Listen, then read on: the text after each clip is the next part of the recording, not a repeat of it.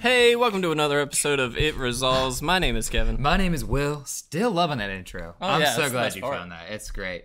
Uh, welcome, guys. Yeah. Welcome to uh, our first like real hit the ground running one episode a week business shindig.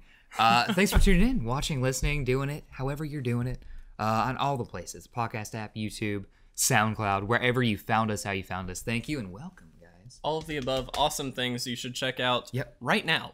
Stop this episode. Go check those things out. Yeah. Don't actually stop the episode, but go look them up now. There's links Um, um, in descriptions, in bios, in various places. Go find them if you're so inclined. Yeah, and the big one of those links uh, that we wanted to mention is the website, which is brand new. We've got a few articles posted there already. Um, I know I've posted two, Insightful. maybe three at this point because we're recording this a few days in advance. Right. I know you've been working on a few. Yeah, I'm a I I, pre- I pretend to be a busy guy. Uh, He's not. He just, nah. I sit in a room in a dark room and eat Ritz crackers all day long.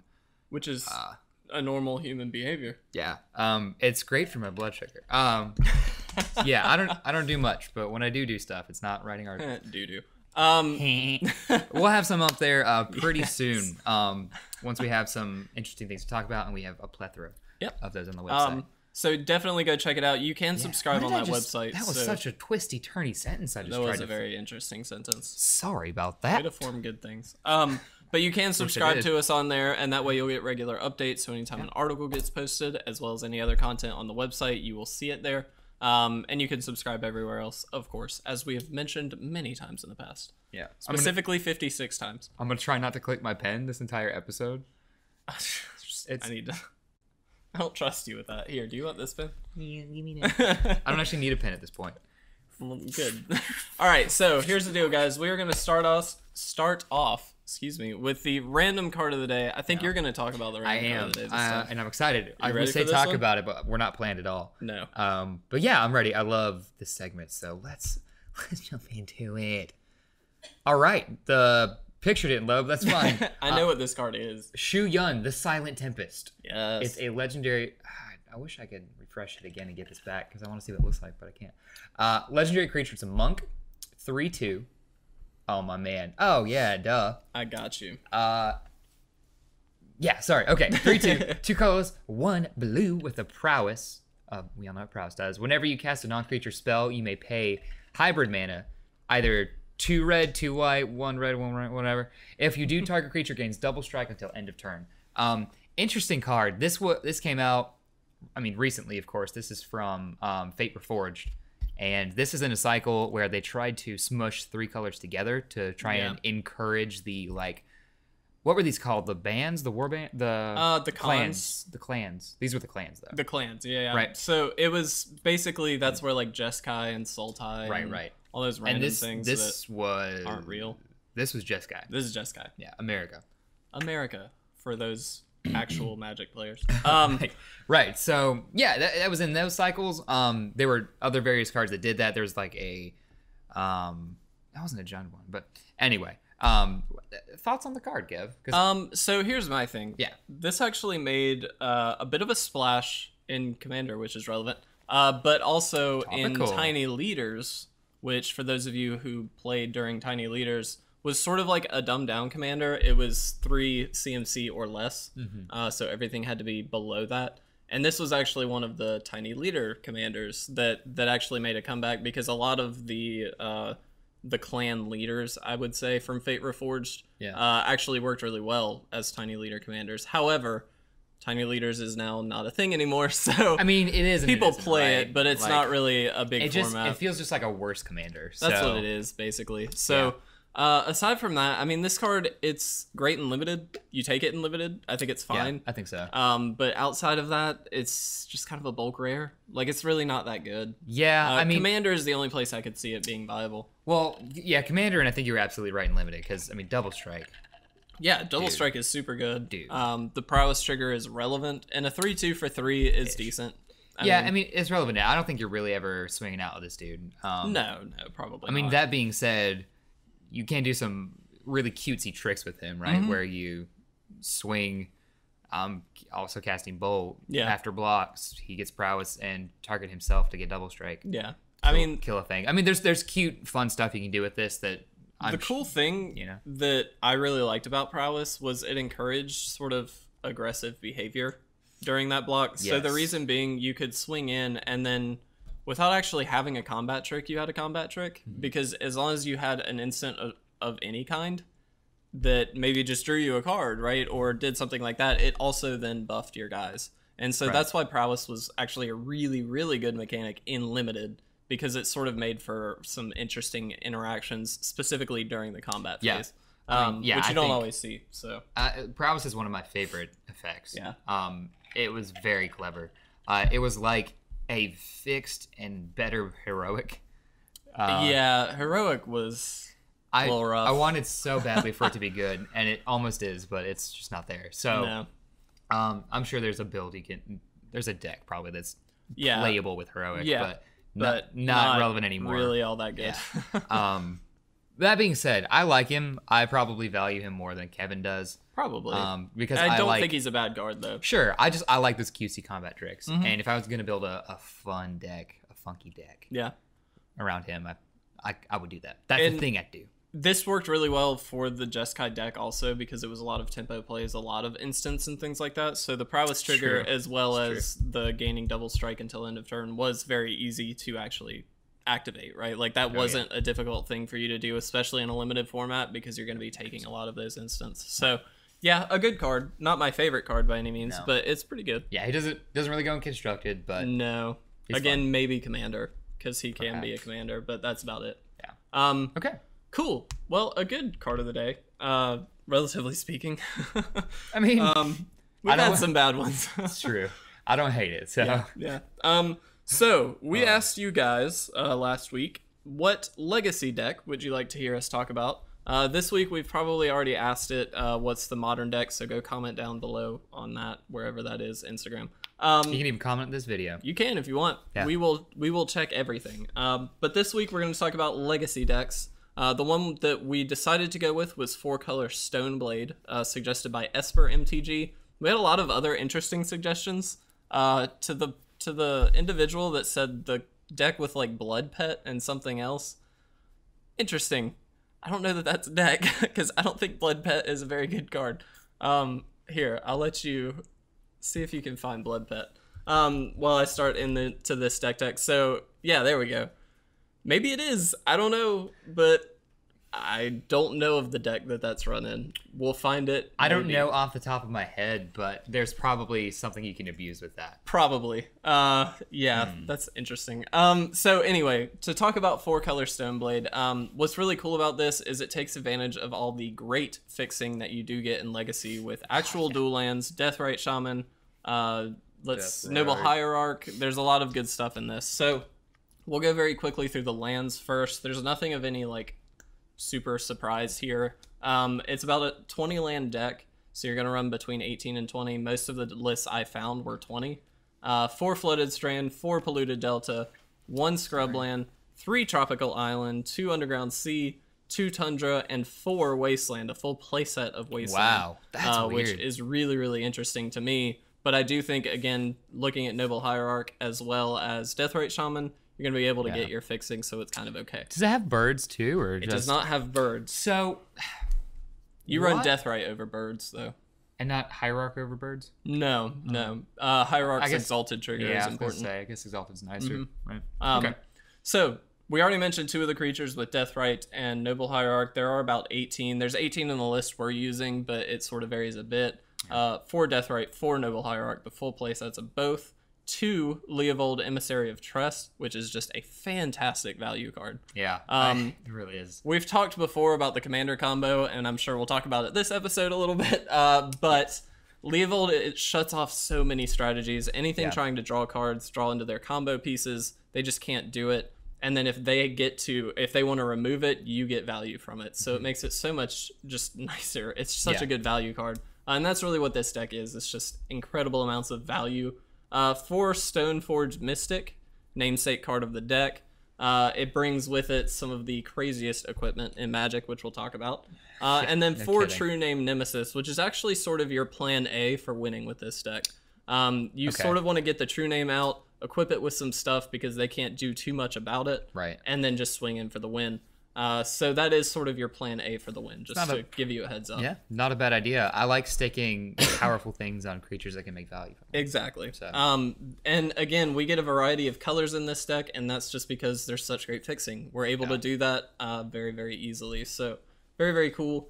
Uh, moving into the sort of instant sorceries planeswalkers package, we have two planeswalkers off the bat. One Gideon, ally of Zendikar, which I think is really interesting. Yeah, Um, and one Jace the Mind Sculptor, no surprise Naturally, there. naturally. um, it's in blue, so you play Jace. right. Um, this does get a good amount of control slash removal and things like that. So three abrupt decay uh, to sort of handle a lot of permanents and things like that that are low to the ground, and it also is uncounterable.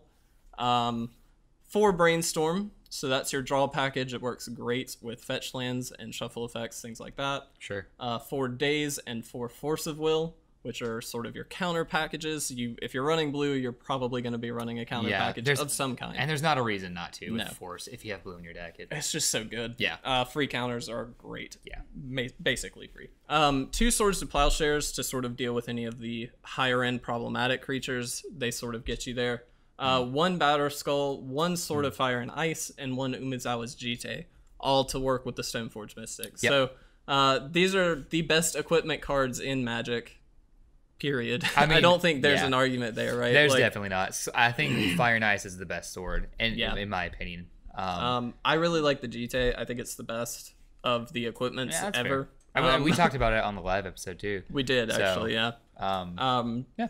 So Makes sense. basically, like I said, the plan is to get your true name nemesis out there, buff it with all of these equipment spells, get the exalted trigger every time you attack, and then deal sort of trace amounts of damage with Deathrite Shaman or just ramp into things with Deathrite Shaman. Cool. Um, and then you have Jace, your counter package and removal package, just sort of lock your opponent out. Um, so it's pretty straightforward deck. I mean, it's pretty clear how it works. You just sort of swing in an attack. However, it has a lot of elements of a lot of different decks, which I think is cool. Yeah, and that's one I really like it for that reason. Yeah. That it's it's simple on the onset and in a format where you get some really janky things, Yeah. some really off the wall. I'm gonna win whenever things. This is honestly kind of simple. Yeah. Um, it, it wins by beating, which Yeah. Which It- I mean, you see obviously in Legacy. However, this is one of the decks that I think does it best. Yeah, Um, and it just has so many other ways to deal with the opponent and valuing them out of the game, uh, which is great. So, very cool. Uh, we'll very quickly go through a sample sideboard. This is just a sideboard that sort of has come with this deck list. Um, Sure. This can obviously be changed based on metagame and things like that. Uh, two more Swords to Plowshares to sort of give you that full play set against other creature decks. A Containment Priest, which is just an insanely Cool. good card. yeah. I love containment priest. Um, Ethersworn Canonist, another great card. Uh, two Flusterstorms, so against Storm decks or counter heavy decks, anything like that, you Fluster Yeah. Storm. Uh, any of the combo decks. Invasive Surgery, which I think is interesting. It's counter target sorcery spell. I I don't know. It's interesting to me. Um, maybe we'll look at that another time. It's interesting. I don't know how I feel about that. I feel like there's better options. yeah. Um, Likewise. meddling mage to sort of deal with a very troublesome card.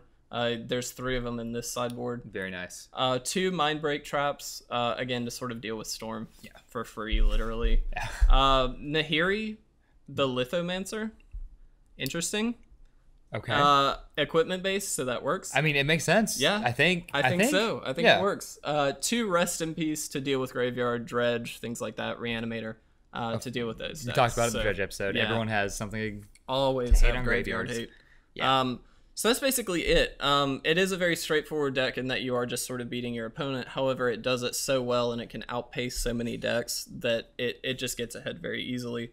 Um, That being said, because it is a little bit sort of counter heavy and then also creature heavy and then doing a lot of different things, uh, sometimes you run into the issue where it's doing a little bit too much at one time. Um, which is something we've mentioned before that Mm-hmm. when you're building a deck, you really want to do one thing really well versus doing a lot of things kind of on an okay front. Yes. Um, yeah, and it, it's tricky. Um, and in these eternal formats, you really expect them to kind of be narrowed and Yeah, focused a yeah. little more. Would you say? I would. I think, but this still being so simple and being so quick, Yeah. getting its wins out, right? Yep. So True Name, it's only three Yeah. to cast it. You get it Stone- on turn two easy. Yeah, very simply. Um, Stoneforge fetches out a threat on Yeah. True Name. So you very quickly become a threatening pro, uh, board presence. Yep. I love it. And I think because of the addition of Stoneforge and why that's sort of the namesake of the deck, Hmm. you're able to because you can fetch these things out, and you can either fetch out a creature in the way of Batterskull, or uh, a sword to go onto a creature that you already have. Yeah. It sort of makes it okay that you get to shove some of these counters and these draw spells in because Definitely. Mm-hmm. you are getting to fetch these things out. You've got fetch lands to hit your land drops, so it really makes it sort of an easy way to throw those things in there. Um, so I would say this deck doesn't necessarily suffer as much as some with the Sure. like doing Sure, too sure, much. However, that is something you can think about with Yeah. this. You can very easily get just counters for days, but no creatures, or vice versa. So, Right. um, but a very good deck, a very solid one, and a very prominent deck actually in Legacy. It's I don't know the percentage right off, but it's up there as Four one of the better decks. four color Stoneforge. Four mean, color Stoneforge. Uh, look it Nice. up on MTG Top Eight. Four C blade. That's Also. where we usually Yeah. look. Um, this actually, this deck list comes from Channel Fireball, just to sort of credit them. We didn't build this list, uh, but it is a very solid one. So Yeah. Um. These these vary a little bit. Really, Yeah. only a number of removals spells you see main board and Yeah, counters you yeah. see main board. Um. for sure, yeah. very cool. Thank you, Esper MTG, Yeah. for recommending that. I believe we had a few in the past, a few recommendations for Stoneforge decks anyway, and Yeah. so we thought we'd sort of And finally really, get that one in there. really with kind of in the same vein as Delver decks, you're not going to see too much variance if you're including a card like Stoneforge. yeah, So in- Delver, you'd see a lot of the instants, Mm-hmm. sorceries, uh, play on the stack, flip a guy, whatever, blue red aggro. With this, you see a lot of, um, honestly, Stoneforge and True Name go hand in hand a lot of the time. they do. um, in various decks, and really, it's because they work so well. So Mm-hmm. you see a lot of, uh, uh, well, really few equipments, but three at least. Yeah, three at all the least because the sword, the Jitte, and the Batterskull are all like you have to include. I mean, they're Yeah. just the best ones. Uh, blue and red being the most prominent colors in Legacy, which is why the blue red sword is in there. Yeah. Um, well, not even just pro, but having. I like the reach and the card advantage. You know. yeah, that, no, no, so- the the effects on it are good card. fantastic as well. Um, but there are different versions of the Stoneforge deck that are not four color. True. Um, some of them run like Abrupt Decay isn't necessarily in there, Mm-hmm. and Leovold isn't always in there. Um, that's sort of an add-in to this four-color deck. Is list, this so- excluding red? Uh, yes, Is that the color's not in? that's the color it is not. Yeah. Okay. Um, so, the but yeah, very cool deck. Very glad Nice. for that suggestion. Um, but that's it. nice. I like it. Uh, one Legacy, deck. One deck a week feels kind of funny, but Ah, it kind of works. That's though. a that's a good one to start off. Yeah. Um. All right. So we are also wrapping up. Well, not yet, but we are in Very the- close to. Yes, we are almost done with our format breakdown series, uh, and we talked early on about doing Commander and Pauper Mm-hmm. because those are little known. Well, not little known, but less popular, less in the mainstream than the other uh, Yeah. formats, and we kind of wanted to shed a light on them for one. Two, talk and learn a little bit more about them for ourselves. Yep. Uh, and just see if there's new information to, to bring you guys. exactly give you our it. take.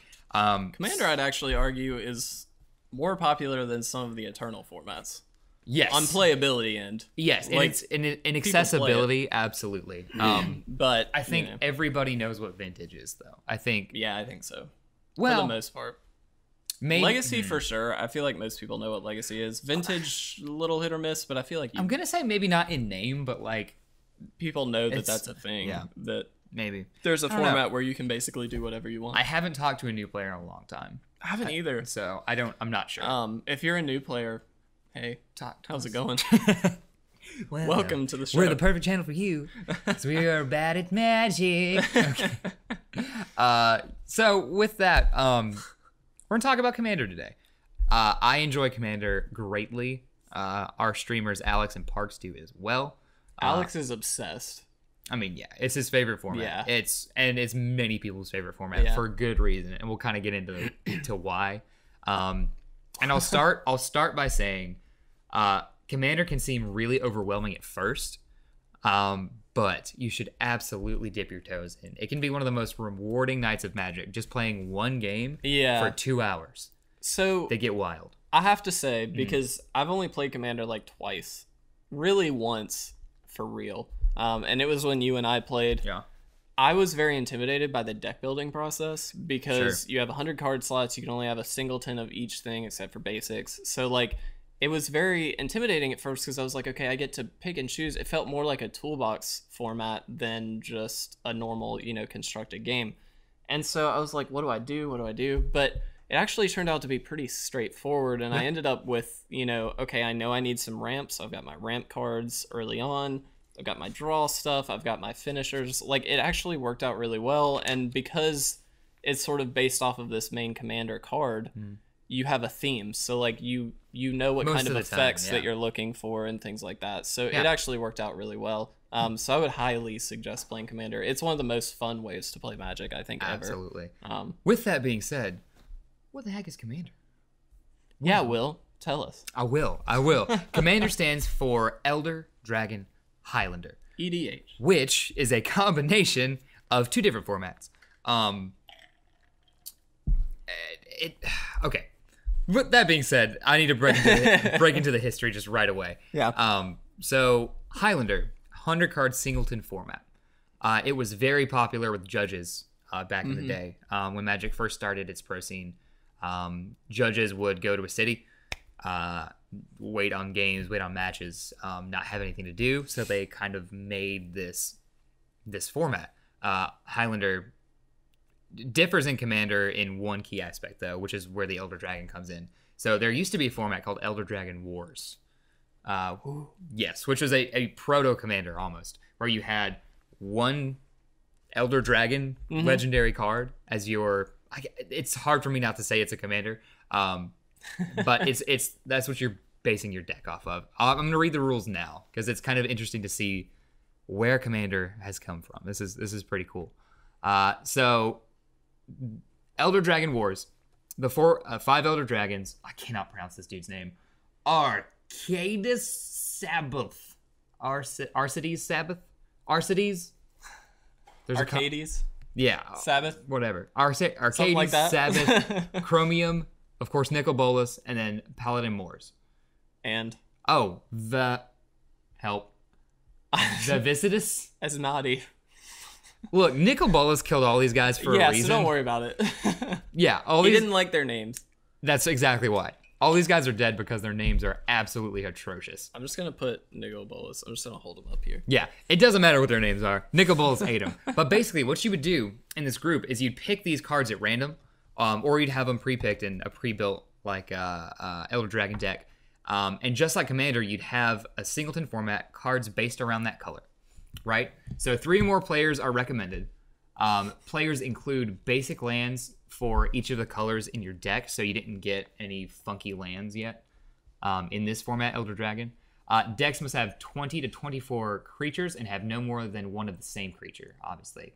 Um, all creatures must be 3 3 or better unless they have an ability. Then they may be a 2 2. Players designate and announce at the beginning of the game three of their creatures as warlords, two of their creatures as captains. If an opponent kills the captain, captain's controller takes two damage, and the destroyer gains two life. If a warlord is destroyed, the controller takes three damage, the destroyer gains three life, and then if the elder dragon, the commander, is killed, four damage, four life. Uh, no more than one of each spell may be included in the deck. Obviously, decide beforehand which cards are banned.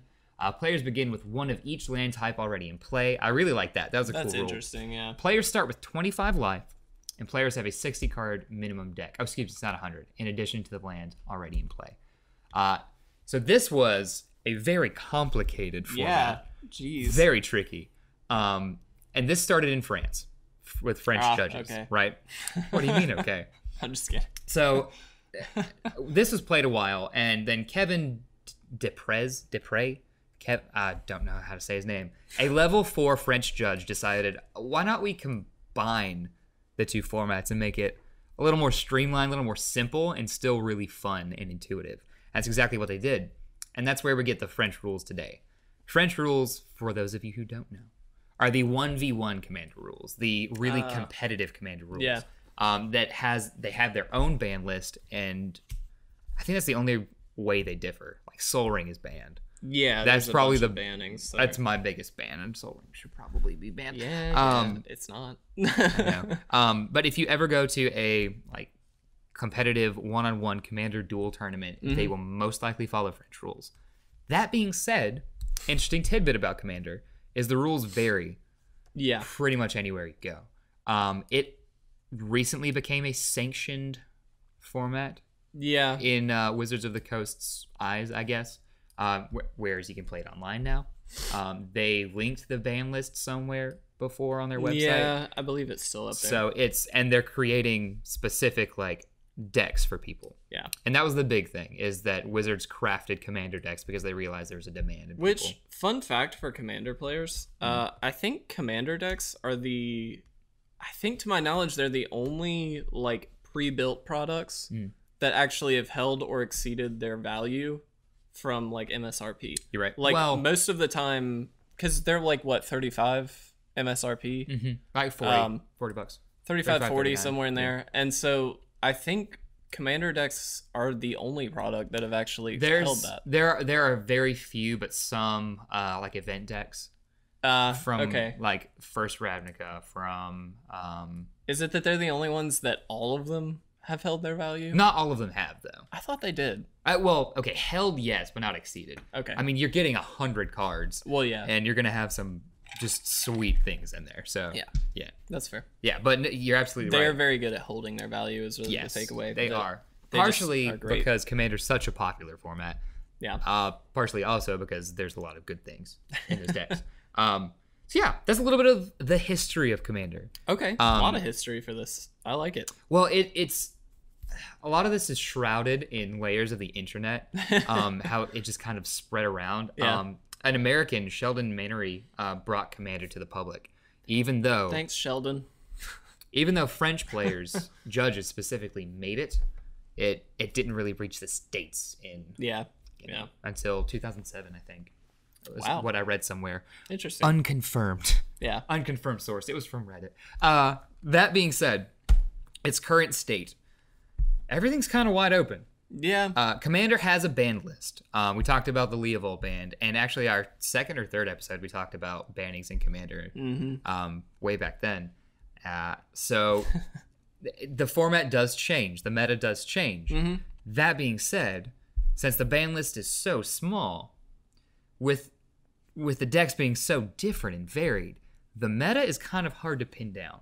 Yeah, and Right. so this was like actually one of my difficulties when we were talking about doing this episode. Like, Mm. my initial thought was let's do Pauper first because that's a little more defined, and we need more time on the commander stuff. However, I don't think even given more time, we would be able to pinpoint down what's the best deck, what are the top decks. Like, well, we have stats on that. However, it's more like there's still a million other viable strategies. Right, Like, there's yes. so much that probably you can do. probably close to a million. Yeah, Yeah. I mean, Um, it's insane. Yes. So Not only that, but it's hard to say which is the like the winningest deck because most commanders played in a four-player yeah. game. Just because you've got the best deck doesn't mean you'll win easily because there could be three other people gunning for you. Politics are a huge part of Commander. Oh yes. Um, so just because you've got a very lethal, scary deck doesn't always mean, unless it's Leovold, uh, that you're gonna pull out the win. Leovold Right. doing the most. So that's tricky. That being said, um, I want to talk about the top five commanders. Okay. There's a wonderful resource online called E EDHREC, EDHREC.com. Wonderful place. Um, it it has given me all my information about Commander basically. Mm-hmm. And with that, the top five commanders I want to talk about: Atraxa, the Praetor's Voice. No surprise. No, so Atraxa is insane busted. Yeah. Do you want to play Super Friends? Do it. Do you want to play Infect? You got it. do it alone. You're not gonna have friends. Um, so she's crazy. Not only as a value creature for four, she comes in with flying, trample, lifelink, and death touch. I want to say. Yeah. I think that's right. I think so. And then proliferate Yes. is a thing with her. Yes. So on her her like on on her card, she says at the end of your at, yeah at the beginning of every end step, Yeah. proliferate. It's every instep, right? Uh, it is Yes. every instep. Yeah, that's right. Actually. Because you're in a four-player format, uh. every cycle of turns you're gonna get four proliferate triggers. So like, Yeah, that's pretty good. that's really good. Yeah. You become a target with Atraxa. Instantly sure. proliferate. Does it double or just add a counter? It adds one Adds a counter. of that kind of counter. So that's plus one, plus one. Neg one, neg one. Uh, loyalty. Infect. Brick, if you want. Any counter there is, it just Brick. bumps it up. yeah, it's insane. So you can abuse a lot of things with that, and things get out of hand quickly. Mhm. Um, so it's no, that's kind of obvious to me. She was one of the Yeah, best commanders yeah. when she was printed in the last cycle, so she's still really popular. Her pre-built deck is super expensive too. It's like it reached like 80 bucks at one point, right? I think at one point it might have overhit hundred. I'm not. I wouldn't be surprised, honestly. She's yeah, I'm not super surprised good. either. Sticking with this uh, this recent printing, Breya. I was hoping Breya would show up. Yeah. I really like That Breya. Second most used commander. Um, with a lot of with artifacts being super prevalent in commander, uh, a commander that takes advantage of the number of artifacts you have and gives you a bunch of outs for him is really really good. Yep. Uh, you can abuse a lot of unlimited combos with Breya, Yeah. and having her as your commander uh, gives you a really good color selection since she's four color. Mm-hmm. Um, and she's kind of got unlimited combos built in that Yeah, way. So she does. Breya is awesome. Um, Meren is number three. I don't know what Meren does. I've never seen a Meren deck played. I'll be honest. What is it? I'll tell you, Kev. I don't know what it is. Oh, Kev. Kevster, I'll tell. It's not the one I made, is it? No. No, no, no, no, no, no. Your commander's got a weird, weird, own, weird name. Oh, Reanimator. Yep. Okay. Mind. Nel Toth. I do know what this is. This was recently reprinted in the Oh, naturally. anthology Yeah, deck. yeah, yeah. yeah. Very, very good commander. I, I totally lied to you. My friend has this deck. Uh, This deck is really good. never mind. Um, she is the th- uh, third most played commander. Um, Reanimator always being a really busted good strategy. Kind of makes sense. Yep. Uh, Oloro, Ageless Ascetic is another one. I love he is card. sweet. Yeah. Um, you gain life at the beginning of your upkeep. Whenever you gain life, you can pay and draw cards. Um, and He was also, if I'm not mistaken, the Hmm. first commander to do something from the command zone. Um, I don't know if Is he- that? I don't know if he was the first, but I don't know. He might have been. when Um, was he printed? 2013. Maybe then. I believe so. I might be incorrect on that. Correct me if I am wrong. But obviously now we've got commanders that do that. Right. Recent printing. Um, however, I believe this was the first instance where it actually did some sort of effect from the command zone, so you didn't necessarily have to play it to get value. Mm-hmm. yeah, um, which is sweet. But this being in Esper colors, Esper is super good. Yeah. As I learned. Yeah, Esper. I mean, Esper's great everywhere, especially in Commander. Um, yeah. you can do some broken, broken things. Um, and the last one I want to show you, Kev. I think would be your your favorite. Yeah. I is thought cool this would one. be your favorite. I like this Uh, one. Nekusar the Mind Razor. Uh, at the beginning of each player's draw step, the player draws an additional card. Mhm. Whenever an opponent draws a card, Nekusar the Mind Razor deals one damage to that. player. Infinite combo for days. Yeah. I Uh, love this. so Locust got anybody? Yep. That's why I thought you'd like it. Um, Yeah. Nekusar's sweet, and there's again unlimited combos to abuse with him. Mhm. Um, I don't want to plug them. Go find them.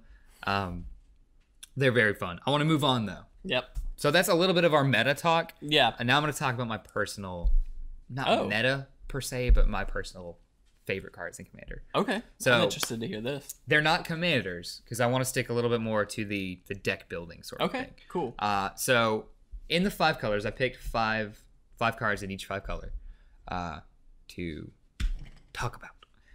Number one, start with blue because I know how you like blue. I do. Even though we learned we should go in WUBRG order, we're gonna start with blue. Yep. Uh, Cyclonic Rift. This Yeah, this a is a must include in any deck that has blue. It just does so much. Well, it saves your booty, is what it does. Well, yeah, but it, anytime. the fact is because it's a four-player format and it's all permanents, you get so much value out of it. Yeah, like it's not exactly just why. like hosing a player; you're hosing three other players. Mm-hmm. So you're gonna you're in a very commanding position uh, after you play Cyclonic Rift. Precisely. Sweepers are super highly valued in Commander. Yes. While this isn't a blow everything up sweeper, it's it clears the board for you. Yeah. Which is awesome. Um and you will get to that mana very quickly where you can overload it pretty easily, I'd say. Mhm. So Cyc Rift is ooh, it's a must Such a have in a blue deck. Um White. This is honestly my might be my favorite card for Commander. Sun Titan. Infinite combos for days. Oh god, Sun Titan. So oh man. if you flicker this bad boy, there are so many things you can get. You can get uh, Aura of Silence, for instance. Um, Sun Titan, if you don't know, says uh, whenever he enters or attacks, you can get a uh, permanent CMC three or less from your graveyard, put it on the battlefield. comes in instantly. That's pretty cool. Um, Aura of Silence to stop all enchantments and uh, whatnot. You can get lands to trigger landfall triggers or just to fetch stuff. Yep. That's pretty neat. Um, if you so let's say they blew up your Sol Ring, well, I just get Sol Ring Doesn't back. matter anymore. Flickering this dude is yeah, it's it's one of the most broken things you can do in Commander. Yeah. It's really quite good. Sun Titan is a monster. Um, not only is that effect sweet, he's also Yeah. a beater. So Yeah, that's nice. huge. Uh, for black though, my second favorite one, Sheoldred. Sheoldred, the Whispering One. Oh, so good. this this is a card you can include in any black deck simply Yeah. because it reanimates stuff and kind of controls the board a little bit for you, Mhm. um, which I love. You desperately need that in Commander, and putting this threat out there, Top exceptional. notch. It's also a, a six six with Swamp Walk. that ain't so bad. Um, I'm gonna talk about green before red because red is interesting. Uh, Chord of Calling is